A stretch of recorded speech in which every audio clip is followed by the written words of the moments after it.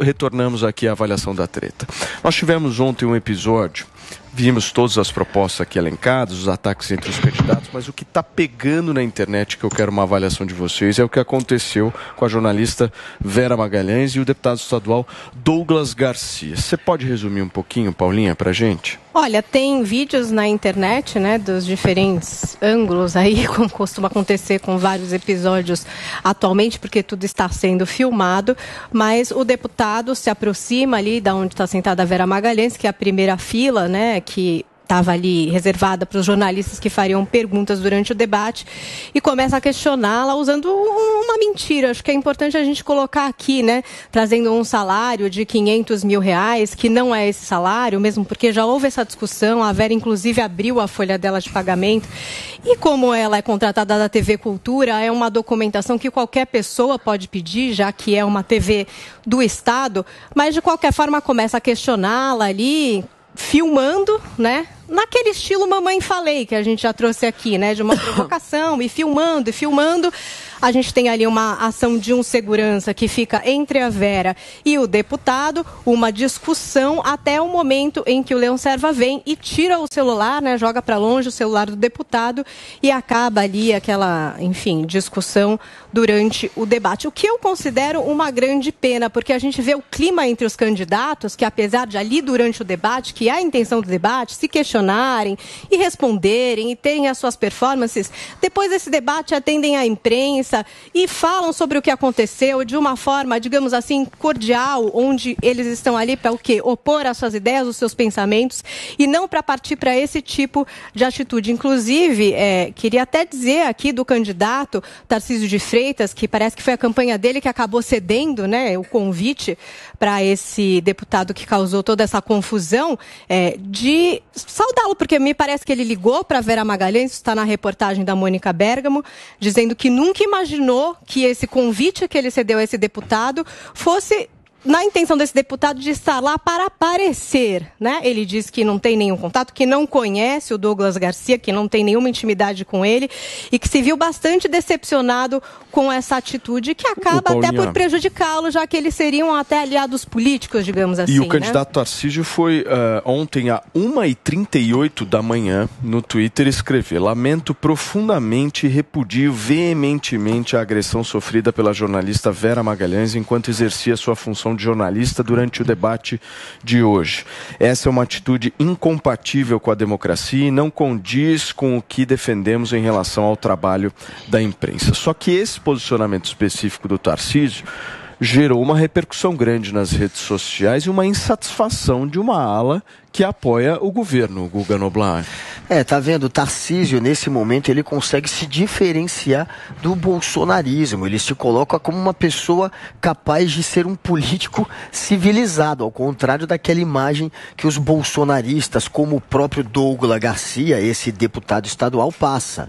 Ele foi para cima de uma jornalista e, como o próprio Tarcísio classificou no comentário do Twitter, foi um claro ataque à jornalista. Não foi só uma indagação indagação. Ele vai de maneira virulenta, trazendo fake news e tentando intimidar a jornalista. Esses bolsonaristas, eles têm esse hábito, essa mania de querer colocar um alvo na testa da imprensa, principalmente das jornalistas mulheres. Aconteceu com a Vera, inclusive durante o 7 de setembro, de colocarem um pôster gigantesco dela, içarem uma imagem dela gigantesca e palavras contrárias a Vera Magalhães. Está tendo, claro, é, um processo aí de ataque a ela, que é uma maneira de tentar intimidar não só a Vera, mas todos aqueles que são críticos críticos ao Bolsonaro. O bolsonarismo, que finge que luta pela liberdade, na verdade é esse, que tenta intimidar e calar jornalista, que pega e que trata jornalista como alvo, que joga o nome de jornalista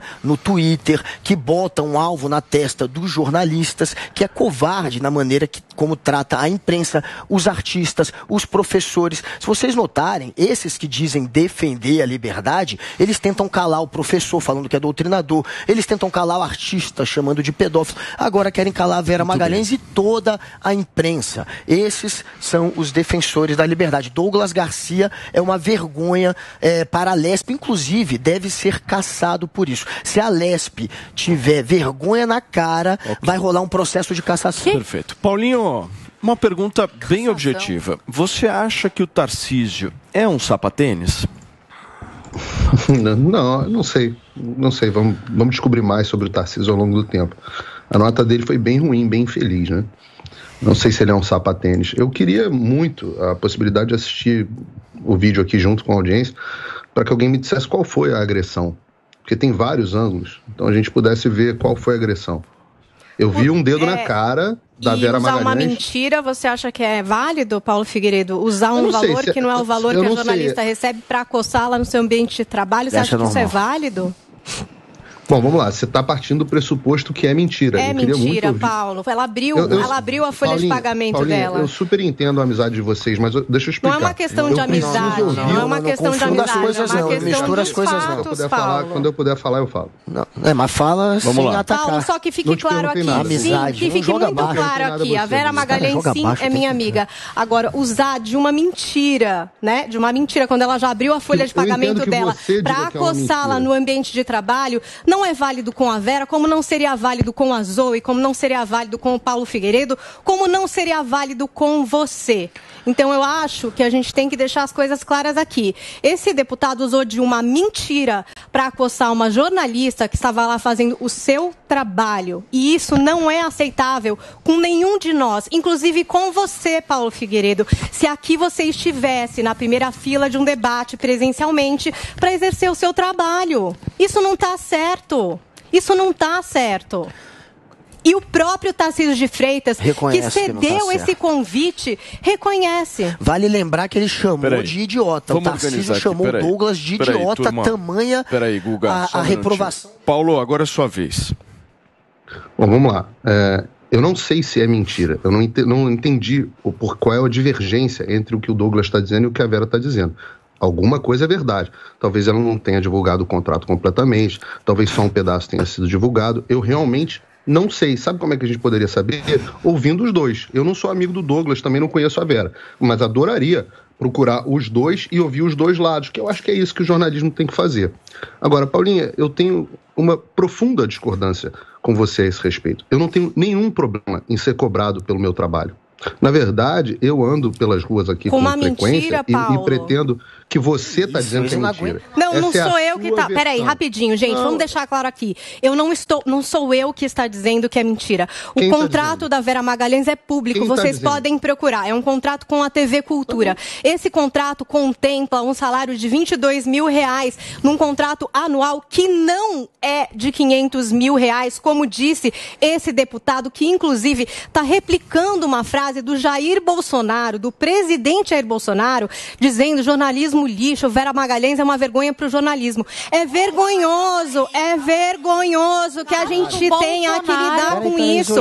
Quando um homem faz isso, quando um deputado, quando um deputado, quando um deputado usa o que disse o presidente para atacar uma jornalista novamente usando de mentiras, pode recorrer, Paulo. Você é uma pessoa que busca as fontes, busca o contrato dela, isso está aberto, isso é público, a Vera publicou nas redes dela. Então é ridículo que uma pessoa vá questionar com uma mentira. E que a gente esteja aqui dizendo de ouvir partes já foram ouvidas. Esse documento é público, gente. Vai lá ver. Vamos Vai lá. lá ver. Vamos lá, Paulo, por favor. Com base em eu acho, não dá. Peraí, Guga, que você, você falou. Alguém ouviu só um minutinho. Douglas? Peraí. Alguém ouviu o Douglas Garcia? Não é uma questão de ouvir o Douglas, ele falou já, por já si, eu, ele eu acusou de uma coisa que é mentira. Eu já acabei de ouvir a assessoria de imprensa da Vera, agora eu quero ouvir o Douglas. Ah, é você a assessoria do Douglas? Então, Paulo, para de ser bobo, gente, nesse sentido de falar que é uma questão pessoal de assessoria, é uma questão dos fatos, Paulo Figueiredo, os fatos estão lá.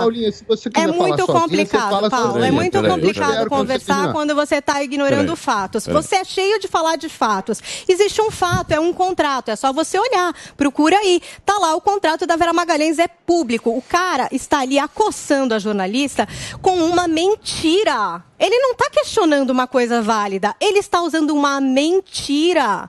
Isso é muito sério. Vamos lá. Paulinho, eu já ouvi várias vezes você tratar coisas como fato que não eram fato. Então, eu é, tratar. Perdoe. Então, o meu trabalho Peraí, você vai desqualificar.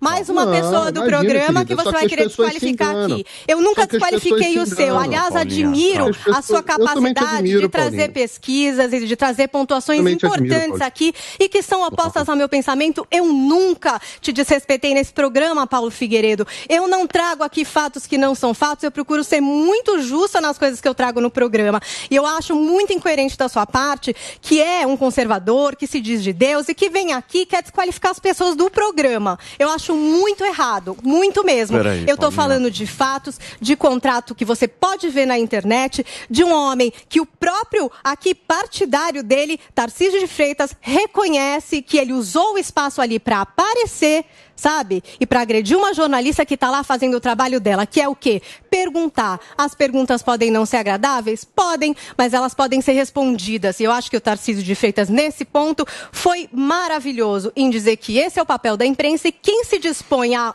concorrer a um, carro, a um cargo público que responda, que responda à população. Okay. Sabe? Paulinha, vamos lá, Paulo, faz o seu comentário a respeito do que, que você achou de tudo e principalmente, eu acho que a gente está também entrando nessa questão de valores aí salariais, enfim, o, o ponto que eu acho interessante da gente trazer aqui para o debate é justamente essa postura, enfim. Você acha que essa postura ela deve ser coroada de alguma forma ou ela deve ser reprovada, Paulo? Se agora eu puder falar, eu vou terminar o meu raciocínio. Vamos lá, sim, eu já vi informações serem trazidas que não eram verdadeiras. Isso não a desqualifica, simplesmente as pessoas se enganam. E é normal isso acontecer, principalmente as pessoas que consomem muito jornal, as pessoas que leem muito jornalismo militante. Isso faz com que, com frequência, você traga dados como fatos que não são. Uh, isso aconteceu aqui, já, já passamos por isso ao vivo, no arquivo do programa a gente pode encontrar. Também tenho a maior admiração pelo seu trabalho, Paulinho, porque eu acho que você é sempre muito honesta nas suas colocações. As coisas que você defende, você defende mesmo. As perguntas que você faz, você realmente quer as respostas. Se você procurar nas minhas redes sociais, você vai ver inúmeros elogios a essa sua postura, porque eu não tenho nenhum problema com as pessoas que pensam diferente de mim. Eu tenho problema com as pessoas que militam para causas uh, e, e, mentem sabendo que estão mentindo. No caso do Douglas Garcia, eu, eu faço o que eu sempre faço. Eu gostaria muito de ouvir as duas partes. Eu não acho que ele tenha lançado isso do ar do nada. Eu acho que ele deve ter um ponto de vista por trás disso. Mas se ele não tiver, condeno igualzinho a você. Se ele de fato falou uma mentira, é condenável ter usado uma mentira. Agora, posto isso, isso não é um ataque ou uma agressão. Não é. Lamento dizer, não é. Ele foi e questionou uma jornalista. E eu não tenho problema nenhum em ser questionado. Nos lugares onde eu vou, eu, as pessoas vêm falar comigo e eu falo com elas com o maior prazer. De um modo geral, as interações com o público são sempre muito elogiosas. Eu acho que assim como alguns de vocês, o público recebe a gente com o maior carinho. Eu acho que se eu mentisse o tempo inteiro, se eu manipulasse a opinião pública, como a Vera Magalhães faz uh, nas suas reportagens, se eu, se eu, fosse um militante travestido de jornalista e, e, e metido a isento, que é o que ela faz, uh, as suas reportagens, as suas publicações são repletas de opiniões travestidas de fato. Se eu fosse assim, eu tenho certeza de que eu seria cobrado pela população. E eu não tenho problema nenhum em o ser. É, eu acho que as pessoas que não querem ser cobradas pelo seu trabalho devem mudar de profissão. Jornalismo é uma profissão que exige compromisso com o público. E se o público não está satisfeito, qualquer um que seja o deputado também é público. Ele tem o direito, sim, de fazer a cobrança dele. Eu não vi absolutamente. Não encostou nela, não meteu o dedo na cara dela como ele, ela meteu no dele, não fez absolutamente nada demais. E a população vai cobrar sim, a população vai colocar é, como fez com Dima Costa aqui nos Estados Unidos, a população vai colocar, sim, é, é, placas e manifestar a sua opinião. E desculpa, Paulinha, nem você nem ninguém tem o direito de dizer o que a população pode ou não manifestar em termos de pensamento. Sobre a população. Desde que esse pensamento. Estou falando de um indivíduo. Ele é população também. Eu estou é falando de um indivíduo também. que usou de uma mentira, Paulo. Questionamentos válidos agora, são válidos. Um Usar de mentira, não. Paula. Fica, fica insuportável, porque eu não consigo é falar dois segundos. É insuportável, às vezes, para mim também ficar quieto ouvindo não, mas eu não te interrompi, querida. Você, você tá me interrompendo a cada dois segundos. Não, Aí você tá falando a três. Vamos começar a contar seu tempo, porque Vamos você lá. fala bastante Turma, aqui nesse programa. Só um não reclama com a direção. Só um minuto, meus amores. Olha só. Só um minuto. Só um minuto, só um minuto. Deixa eu só pedir para vocês, por favor, para que a gente tente estabelecer um certo equilíbrio aqui, principalmente de uma certa leveza da gente buscar. As pessoas estão nos assistindo, elas querem isso. Eu sei que a gente diverge de inúmeras questões, mas vamos tentar justamente promover um negócio bacana. Vai lá, Paulo, para finalizar, mais assim, 30 segundos, por favor. Não, eu, eu, realmente perdi o fio da meada do meu raciocínio. Meu ponto é que é, o Douglas Garcia, ele é uma pessoa da população, ele tem o direito de cobrar os jornalistas, e jornalistas, vocês ou nós seremos cobrados. Faz parte da minha profissão, faz parte da sua profissão. Se você não gostar, pede para sair. Muito Aproveita para cobrar um as minuto, pessoas Paulinha. com verdades, não Muito com bem. mentiras inventadas. Seria importante. Ótimo. Seria importante usar fatos um minuto, e contar Estamos de acordo. Eu quero chamar o VAR aqui, Cubaninha. Tô precisando da sua ajuda, meu amor. Olha nos meus olhos e me ajuda. Ajuda o pai aqui, por favor. Coloca na tela. Não, Paulo Figueiredo, não quero mais olhar na cara dele. Eu quero ver o vídeo. Coloca, por favor, o vídeo. Ai, Vini, Deus o vídeo aqui para mim, para que eu possa verificar o que, que efetivamente aconteceu ontem. Roda. contratos de meio milhão de reais pra falar mal do presidente da República. Segurança, segurança. Não, me responde aqui, é, é verdade. Eu sei que a senhora, eu sei que a senhora não tem vergonha. Eu sei que a senhora, eu sei que a senhora como jornalista para o Brasil é uma vergonha como jornalista para o Brasil. A senhora é uma vergonha para o Brasil. Você é o quê? Deputado? Porém, eu queria saber se a senhora tem vergonha na cara. Eu tenho vergonha na cara. A senhora assinou um contrato. A senhora assinou um contrato de meio milhão de reais. de 200 milhões, deputado. O senhor então, publica, a senhora pode 200 mil reais. Publica o contrato. 200 mil reais. Publica o contrato, velho. O senhor sabe. Publica, não. O Fala aqui pro pessoal, publica o contrato. A senhora pode publicar o contrato da Fundação Padre Anchieta. Porque a Fundação Padre Anchieta recebe. Não publicou, não. Não publicou. A senhora não publicou. Por que a senhora está me agredindo? A senhora está me agredindo. A senhora está me agredindo. A senhora não pode ser questionada. A senhora não pode ser questionada. A senhora é uma vergonha. Vergonha para o jornalismo brasileiro. Vergonha para o jornalismo brasileiro. É isso que a senhora é. Uma vergonha para o jornalismo brasileiro. Vergonha, vergonha. É isso que a senhora é. Publica, publica. Bom, nesse exato momento, você que nos acompanha aqui na Jovem Pan News, viu que uh, o celular foi praticamente, enfim, jogado. Quem jogou o celular do deputado uh, Douglas Garcia foi o diretor da TV Cultura, Leão Serva, que inclusive estava participando também, mediando o debate de ontem uh, dos candidatos ao governo do estado de São Paulo. Cubaninha, é a sua vez, meu amor. Olha, o Douglas Garcia, ele era apoiador do Bolsonaro, ainda continua sendo, óbvio, né? Da, da voto, então cola sua imagem. Mas ele, ele começou o seu ativismo sendo do movimento conservador, apoiador do Bolsonaro. E no momento que teve a briga com os Wintraubes, ele o Edson Salomão ficaram com os irmãos Wintraub e contra o Eduardo Bolsonaro. Até hoje parece que o Eduardo e o Douglas não estão se falando. Só que agora, em época eleitoral, eles precisam associar a sua imagem aí ao Bolsonaro, que eles sabem que dá número. Ele podia, o Douglas, ter feito esse questionamento.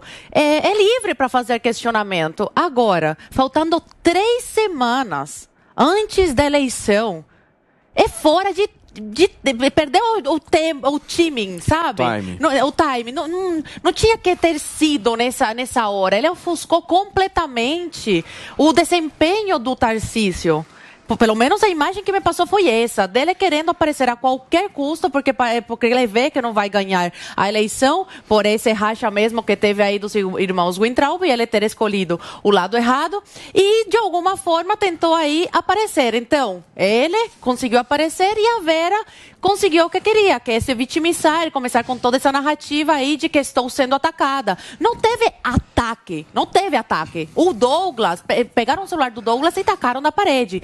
Agora, eu também não concordo com essa atitude dele fazer isso nesse momento, porque nenhum presidente da República, o Bolsonaro, está fazendo esse tipo de coisa. O Bolsonaro está tentando ser o mais light possível, porque sabe que a eleição está chegando e não quer é, é, colocar mais fogo na fogueira nesse momento tão complicado que o Brasil está vivendo, numa eleição que é decisiva para a história desse país. Então, nenhum presidente, o presidente não está tá tentando não se envolver nesse tipo tipo de, de discussão e vem o Douglas para fazer de tudo para aparecer, não pensa aí no Tarcísio, na eleição do Tarcísio, não pensa na imagem do Bolsonaro, não pensa em ninguém, pensa apenas na imagem dele em se promover. Então, eu sou a favor de ser questionado, haver ataque ao Bolsonaro o tempo inteiro, até no dia do debate ela fez uma pergunta atacando o Bolsonaro e o Bolsonaro apenas respondeu à altura. Agora, com o Douglas, foi de graça. Esse ataque que ele fez foi de graça. Ele chegou lá já gravando, a mulher estava no canto dela.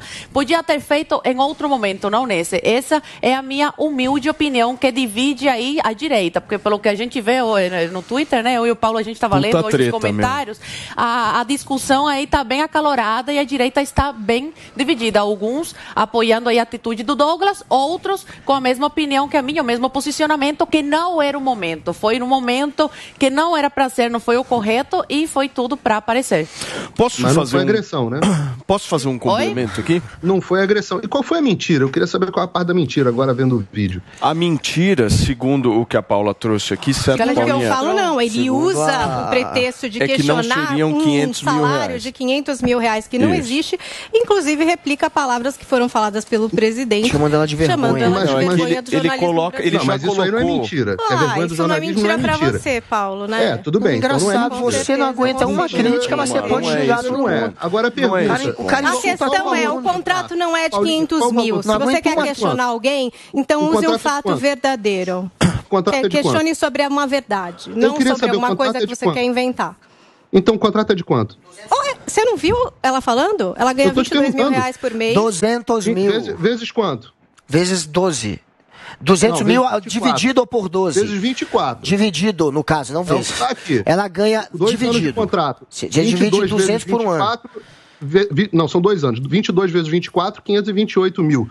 Para prestar, e eu estou aqui com a nota é, fiscal Ai, aqui, Deus, falou dos Paulo, serviços. jura por Deus? 528 mil por dois anos, você está dizendo, 200 mil por ano. Isso aí, Datilógrafa, eu entendo essa questão. Vocês vão... Mas é, mas, mas peraí, peraí, é, ela ganha peraí, um salário. A mulher tá trabalhando, meu, peraí, peraí. Querem fingir que ela ganha 500. Peraí, é apresentadora de um programa, peraí, não, não, calma, calma. Não tô calma. dizendo que... Não, peraí, peraí, não é, Calma. só não é mentira.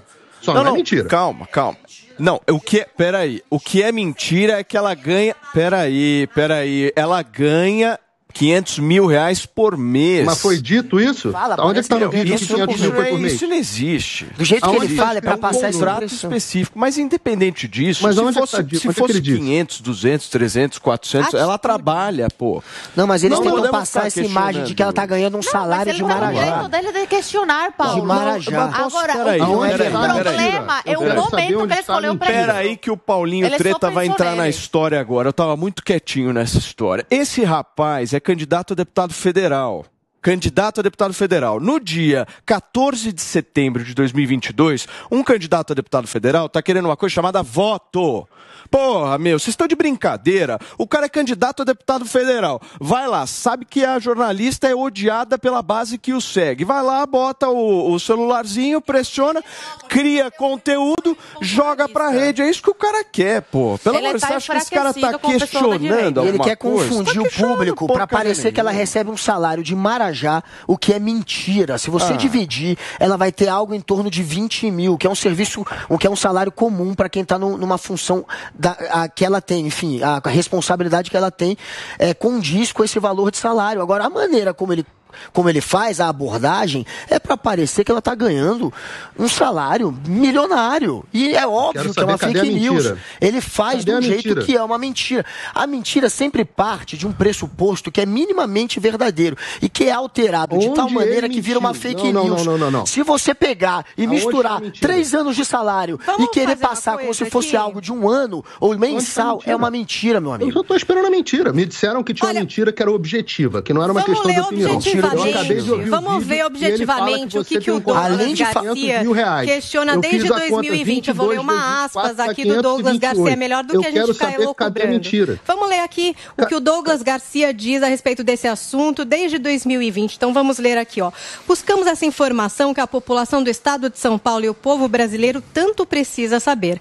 A senhora Vera Magalhães recebe a bagatela de 500 mil reais pelo contrato com a Fundação Padre Anchieta para falar mal do presidente da República. Pública meio milhão de reais, sendo claro que a Fundação Padre Anchieta recebe 100 milhões por ano do Estado pelo senhor João Dória. 100 milhões que saem do seu bolso, contribuintes do Estado de São Paulo. Nós temos aqui a senhora Vera Magalhães, que recebe ao mês o teto do salário do governador do Estado, para que fique pública essa informação a todo o povo do Estado de São Paulo, 500 mil. Muito obrigada, senhor presidente. Disse aqui o deputado. Você vê qual é a linha de pensamento que ele está querendo defender. E Se é você mentira? acredita na. Ah, você acha isso? Você que ela acha que recebe é- um é- dinheiro Não, eu quero saber, para agredir, é para falar mentirosa? mal do Jair Bolsonaro A e que esse Bom, dinheiro é de Aí- 500 aí, mil. Aí, aí a crítica política. Você não, Não, pode não é dizer se isso é mentira ou não. Porque a Vera é que Magalhães ele tá fala mal do dizendo presidente. Tá dizendo que ela Bolsonaro. recebe dinheiro para dia. Ela não fala mal do presidente Que da a República, Vera ela traz Magalhães fala fatos mal para do a presidente. sociedade, Não, ela como a só gente fala mal costuma do fazer Bolsonaro. aqui. Ela não faz nada além disso. Ela é uma Ela militante. Ela é figura pública. jornalista. jornalista Ela, ela,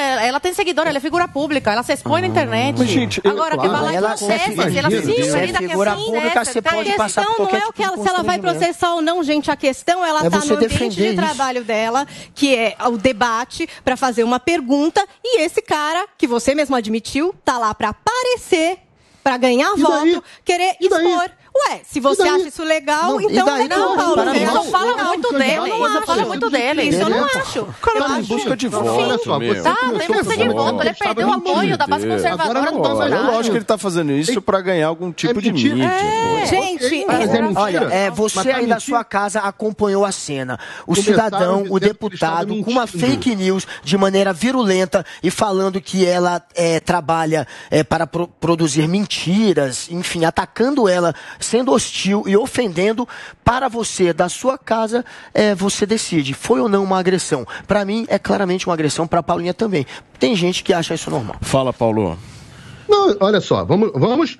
Começaram o programa dizendo que era uma agressão porque era mentira. Aí eu trouxe. Fala, pe- pesquisa o contrato, É mentira. Paulo. Fui lá, pesquisei o contrato. Tá aqui o contrato. Vimos o vídeo. Ele não diz em momento algum que era 500 mil por mês. Diz que o 500 mil era o valor do contrato. Diz no tweet que a Paulinha leu que o 500 mil era o valor do contrato e ainda diz que por mês ela superava o teto. E não que o valor era 500 mil. Então, até agora, só vi verdade. 22 vezes 24, 528 mil. Na verdade, é mais de 500 mil. Sim, Vera Magalhães, hoje, basicamente, como a maior parte da imprensa militante, vive atacando o presidente Bolsonaro. É só o que ela faz. E não o faz de forma justa. Faz, muitas vezes, faltando com a verdade, ou pelo menos distorcendo a verdade. Isso, agora, João Dória era um grande opositor do presidente Bolsonaro. João Dória controla a- a, de certa forma, a TV Cultura e, e financia a TV Cultura com 100 milhões por mês. Ele foi lá e contratou uma jornalista para uma função, que era destruir o programa que ela apresenta,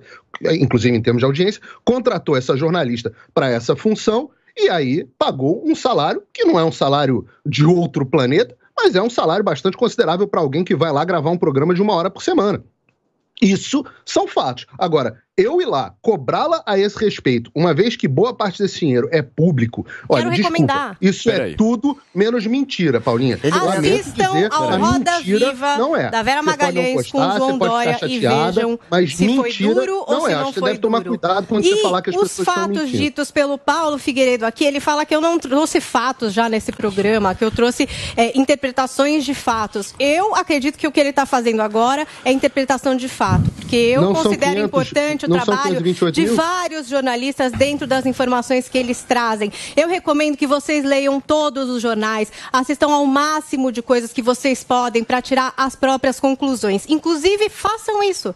Assistam ao Roda Viva do João Dória, em que a Vera Magalhães apresenta e vejam se foi chapa branca e vejam se as perguntas não foram feitas Boa. ali. Eu acho que é assim que vocês podem começar a avaliar o que é dito e o que não é dito pelas pessoas que vocês assistem. Tem um outro ponto aqui. Eu queria fazer uma correção, Paulo. Por favor, qual que é? Eu, eu falei que o contrato era de dois anos, não é. De contrato é de três. Cláusula 3.1. O contrato, no tocante à prestação de serviço pela contratada, vigerá de 2 de janeiro de 2020 a 31 de dezembro de 2022. São três Então ela anos. Só ganhou queria corrigir a 528, informação. Paulinho, 528 mil por três anos. É, foi então. isso. Já diminuiu, portanto, o, o valor. Então, Então, já está abaixo do teto peraí. do governador. Não, então 22 já cai. vezes três anos, querido. Não, então ela ganhou valor. cê- a- na sua conta, porque ela disse que ganhava 200 mil por ano. 200 mil dividido por 12 dá menos de Então 20 são mil por 600 mês. mil. Se ela ganhou Então são 600, 600 Peraí, se ela ganhou tem um ponto que 600 vocês mil, estão isso dá esquecendo menos aqui.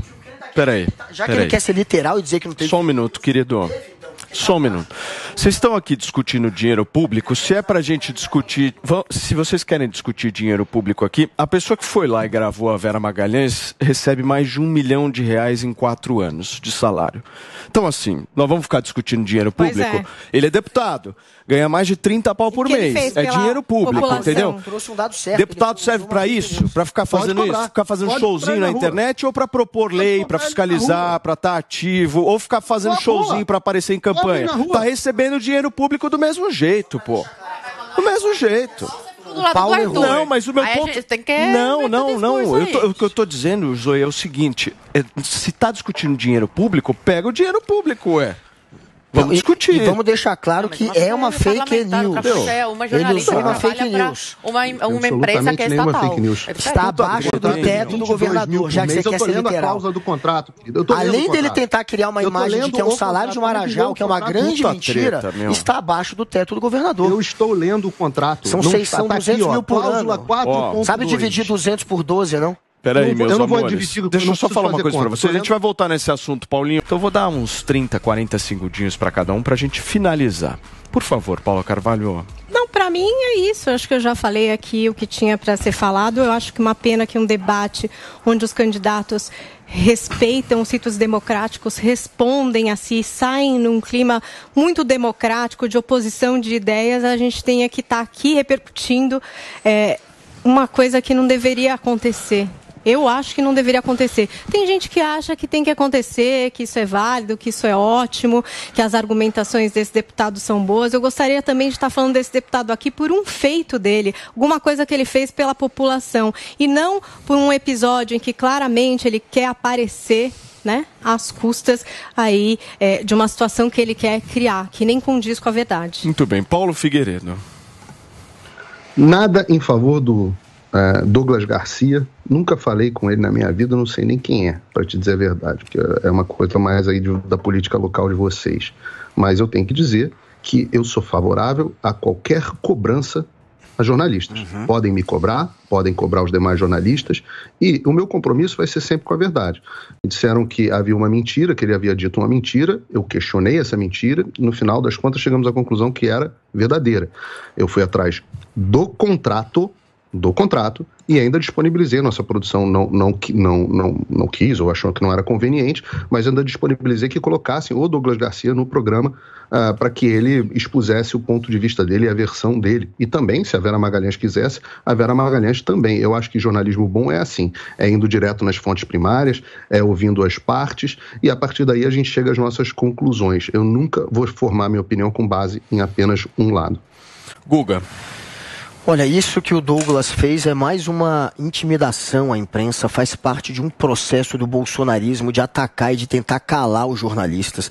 O tempo inteiro eles tentam colocar um alvo na testa dos jornalistas, colocando o nome no Twitter, ou colocando a foto eh, durante a manifestação, ou fazendo um vídeo como o Douglas tentou fazer, constrangendo uma jornalista no ambiente de trabalho dela de maneira covarde, com uma informação mentirosa, porque a maneira como ele grava o vídeo induz aqueles que estão assistindo a acreditar que ela recebe um salário milionário. Essa é a intenção desse vídeo. E ainda dizendo que ela faz, que ela recebe dinheiro para fazer um jornalismo sujo, como se ela não fosse uma pessoa independente. É óbvio que foi um ataque covarde de alguém que quer intimidar a imprensa e me assusta aqueles que acham isso normal. Muito bem, nós estamos ao vivo aqui na Jovem Pan News, são 10 horas e 46 minutos. Zoe. Olha, Paulo, tem hora para tudo e com certeza não era a boa, eh, não era uma boa hora para ele fazer isso. Infelizmente acabou ofuscando aí o excelente desempenho do Tarcísio no debate e tudo para se promover aí para tentar ganhar votos agora na reta final. Agora, eu sou a favor de questionamento, questionamento de jornalista, questionamento de político e questionamento do cidadão comum. Todas as pessoas têm o direito de questionar. Isso não é atacar, isso é liber, livre, liberdade da expressão, de você exercer aí o seu direito de cidadão de questionar, ainda mais uma jornalista que escolheu se expor porque a Vera escolheu se expor e ataca dia e noite o, o presidente da República no próprio debate, onde é para as pessoas conhecerem o candidato, ao invés dela fazer uma pergunta séria, ela escolheu o quê? Atacar levianamente o presidente da República. República. Então ela apenas está colhendo os frutos que ela semeia, né? Que é do ódio e da intolerância e dos ataques, porque é o trabalho dela hoje. É ser, ser travestir de jornalista, mas na verdade não passa de uma militante que só trabalha contra o presidente da República e não a favor do Brasil, a favor da democracia.